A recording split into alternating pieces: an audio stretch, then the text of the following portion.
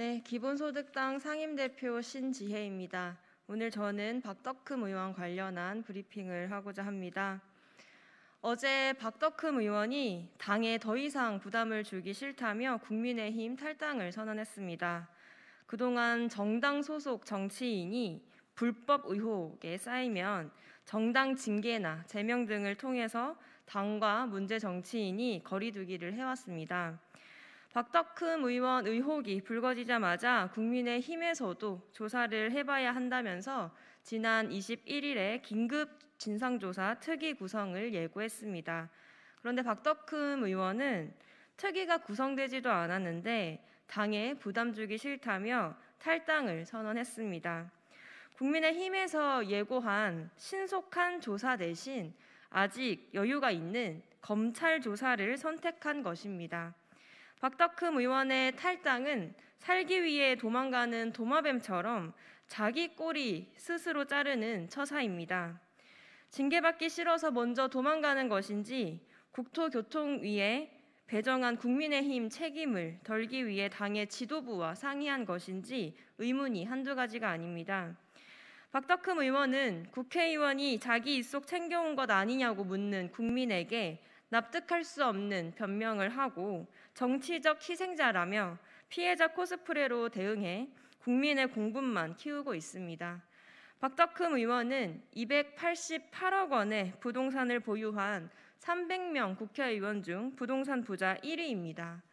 국민은 매년 자산이 늘어난 박덕흠 의원이 국회의원 직위를 이용해서 가족과 본인의 재산을 늘린 것은 아닌지 그것이 사실인지 엄중하게 묻고 있습니다. 박덕흠 의원은 이를 정치 공세로 몰아갈 것이 아니라 정치를 할 것인지 건설 사업을 할 것인지 명확하게 대답해야 합니다.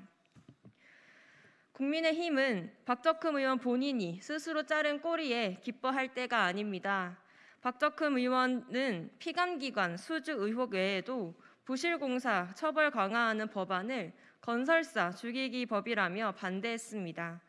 국민의 안전보다 건설사 이익을 우선하도록 정치기를 열어준 것은 바로 국민의 힘입니다. 이해 충돌 방지하겠다고 이미 늦은 약속을 하기 전에 박덕흠 의원 의혹에 대한 사과부터 하는 것이 책임의 정치입니다. 민주당이 제2의 박덕흠 의원을 맡겠다며 정치개혁 TF를 출범했습니다. 재산 누락 의혹 받은 김홍걸 의원 제명과 함께 출범한 만큼 기존의 그 어떤 기구보다 기대가 큽니다.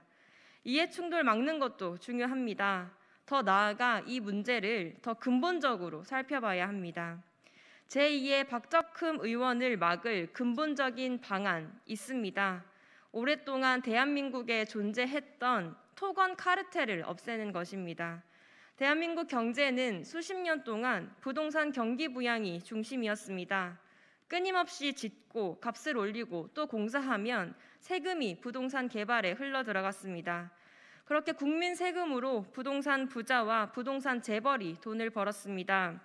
돈 버는 땅 주인과 건설사, 이들의 지지와 지원이 절대적으로 필요한 정치가 한 몸으로 묶여 토건 카르텔을 만들어 왔습니다.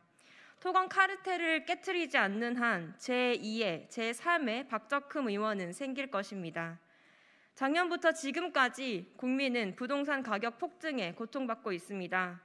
누구는 부동산으로 불로소득을 벌어들이고 누구는 평생 집 한 채 갖는 꿈도 못 꾸는 부동산 불평등이 심각해지고 있습니다. 박덕흠 의원 의혹에 대한 국민의 분노는 부동산 불평등으로 인한 고통이 녹아 있습니다. 박덕흠 의원은 정치적 희생 운운하면서 도마뱀처럼 자기 꼬리를 자르고 도망칠 것이 아니라 이해 충돌의 진상에 대한 국민의 엄중한 물음에 책임 있게 대답해야 합니다. 피감기관 수주 의혹, 건설사 이익만 대변한 의정 활동에 분노하고 실망한 국민은 박덕흠 의원의 사퇴를 원하고 있습니다. 무엇보다 본인이 그토록 원하는 당의 부담이 안 되게 하는 가장 확실한 방법도 사퇴 후 수사기관의 조사를 성실히 받는 것입니다. 여당을 비롯한 정치권은 제2, 제3의 박적흠 의원을 만들지 않기 위해 수십 년 동안 굳어진 토건 카르텔을 없앨 근본적 방안을 마련할 것을 촉구합니다. 국민의 안전보다 건설사의 이익을 위해 일하게 하는 토건 카르텔이 이해 충돌의 핵심입니다. 부실공사, 단합, 친건설 기업 법안 등으로 이익을 얻고 있는 토건 카르텔을 깨야 합니다. 이해 충돌 막겠다는 당연한 이야기를 넘어서 모든 정치권이 토건 카르텔을 없애는 정치를 함께 논의할 수 있기를 바랍니다. 감사합니다.